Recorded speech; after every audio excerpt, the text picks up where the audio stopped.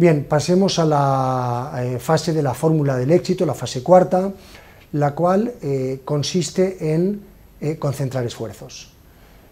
yo creo que esta es la fase de, más importante en la que debemos prestar más atención y la cual va a estar dotada de varios ejemplos y todos los ejemplos que hemos seleccionado para ustedes son ejemplos reales, son ejemplos verídicos, son ejemplos que nos van, a permitir demostrarles que toda esta parte teórica que hemos explicado tiene realmente una aplicación práctica, que es el hecho de hacer coincidir el interés privado de la institución o individuo con el interés de los públicos. Entremos pues en acción. Esta es una campaña real que aconteció en el año 1988 y eh, eh, fue la campaña de eh, George Bush, quien fue luego presidente de los Estados Unidos, contra Mike Dukakis. Obviamente cuando un presidente de Estados Unidos contrata una agencia de relaciones públicas, lo que no hace es contratar a una agencia de relaciones públicas, porque cuesta lo mismo pagar a un experto de relaciones públicas que te resuelva 100 temas que a 100 expertos bajo un mismo parámetro que te resuelvan 100 temas. Por lo tanto, ¿qué hacen los candidatos a elecciones que se juegan mucho? Pues contratar a distintas agencias para que cada una de ellas, bajo un mismo parámetro y una misma dirección, de marketing político lleven a cabo, esa campaña. Pero es más fácil que 100 cosas a 100 agencias distintas te salgan 80 que no, 100 cosas a una sola agencia te salgan 80. Por lo tanto, eh, vamos a ver en este caso eh, cómo se hizo, esto es un ejemplo real, en la campaña de George Bush contra Mike Dukakis en el año 1988.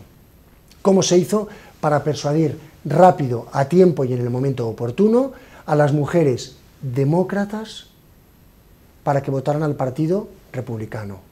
Bien, la biografía de los candidatos la tienen aquí en la pantalla, la del candidato a presidente de los Estados Unidos, eh, que fue luego presidente Bush, tienen ahí en la propia pantalla eh, la biografía.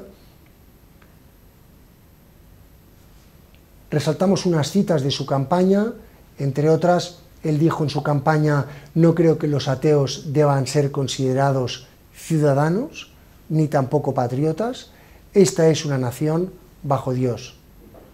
Esto es una frase que dijo en Illinois el 27 de agosto del año 87.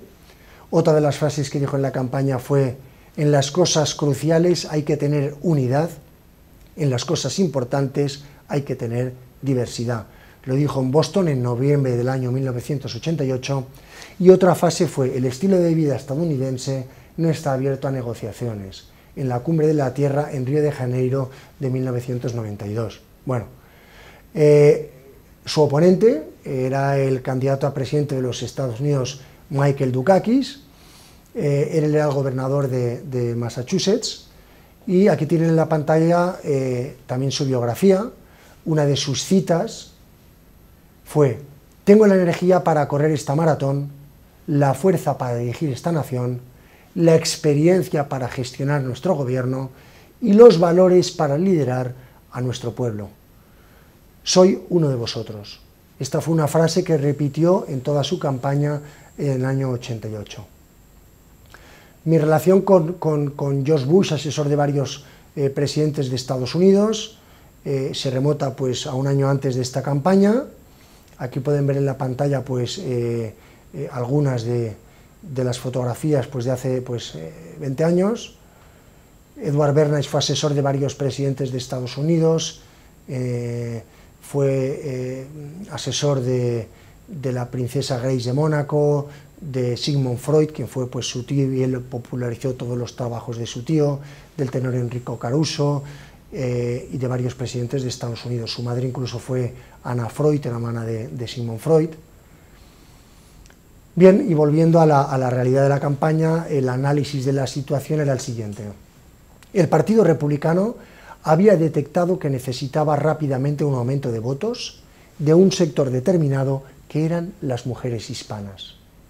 Estaban a dos semanas de las elecciones y que un público objetivo en general eran las mujeres, pues es el colectivo en aquella época que más votaba. Hoy en día el colectivo que más votan siguen siendo las mujeres. En Estados Unidos votan aproximadamente 30 millones más de mujeres que de hombres.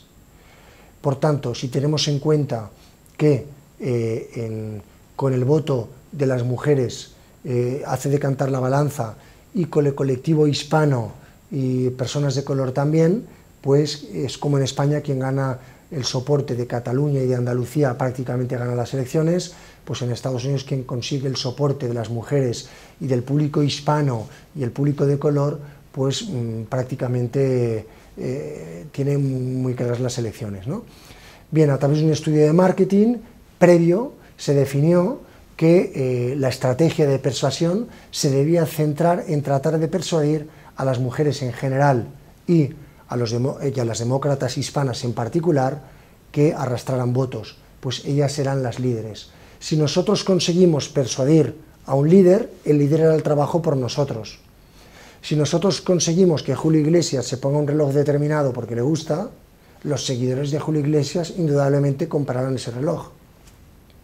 Si el líder en la familia hispana, nosotros sabemos que es la mujer, en un matrimonio es la mujer, si nosotros persuadimos a la mujer, la mujer nos arrastrará el voto del marido y nos arrastrará el voto de los hijos en edad de votar. Por lo tanto, nuestro público objetivo era persuadir al líder. ¿Quién era el líder? La mujer. Por lo tanto, la mujer podía hacer que nos arrastraran el voto. ¿Cuál era la situación? El encargo era bien claro. Persuadir a las mujeres en general y a las demócratas hispanas en particular que nos arrastraran votos, pues eran las líderes, y que nos votaran, pues en Estados Unidos votan más mujeres que hombres. Este era uno de los encargos. Por lo tanto, la situación a pocos días de la votación definitiva, eh, se centraba en persuadir lo antes posible del cambio de intención de voto a las mujeres demócratas hacia la candidatura de George Bush, republicano. El logro, por tanto, era conseguir romper esquemas preestablecidos sin que lo dijéramos, sin que lo dijéramos directamente nosotros, pero que las mujeres acabaran votando al partido de Bush. Si se da una orden y dices, eh, mujer de izquierdas, vota a las derechas, dirán, ¿por qué? No aceptarán la orden. Relaciones públicas no es como publicidad, que te dicen, vota, come, compra, consume, y tú lo harás si, si, te sientes influenciado o no. Relaciones públicas es persuasión, nada tiene que ver con, con publicidad. Hacen que acabes votando, creyendo o consumiendo porque ha salido de tu psique, pero lo que tú no sabes es que esa psique ha sido influenciada por alguien con lo cual tú te identificas, obviamente, si no, hubieras sido persuadido, ¿no? Por lo tanto, esto es la estrategia de la persuasión. Por tanto, el logro era conseguir romper esquemas preestablecidos, sin que lo dijéramos nosotros directamente a las mujeres, sino que saliera de su propia psique y cambiaran esa intención a la hora de votar, pues con la publicidad no se hubiera conseguido nada, ya que esta pues, nos daba una orden. ¿Cómo se hizo? Se hizo una sola acción. Tras analizar todas las alternativas, se optó por una estrategia de producir un impacto en la mente de la mujer hispana y que cambiara la intención de voto. En un programa de televisión de máxima audiencia, se realizó una doble entrevista a las mujeres de los candidatos a presidente de los Estados Unidos. Una era la señora Bush y otra era la señora Dukakis. Tengamos en cuenta que en Estados Unidos no solo se vota eh, al presidente, sino que también se vota a la mujer, a la presidenta. Las preguntas fueron más o menos normales hasta que en el plató se hizo la siguiente pregunta a las dos mujeres. Si usted fuera la mujer del presidente de los Estados Unidos, ¿en qué tipo de tienda de ropa usted se vestiría y qué marcas utilizaría? ¿Cuál fue la sorpresa? Que la mujer de Dukakis era más joven, podríamos decir tal vez más atractiva para la televisión, dijo, si yo fuera la mujer del presidente de los Estados Unidos, me vestiría, y citó muy inteligentemente a varios modistos de Estados Unidos y marcas y modistos de países aliados de Estados Unidos. Muy bien, hasta ahí todo correcto, las mujeres se identificaron perfectamente con, con la respuesta y cuando Barbara Bush le hacen la misma pregunta, ella contesta lo siguiente.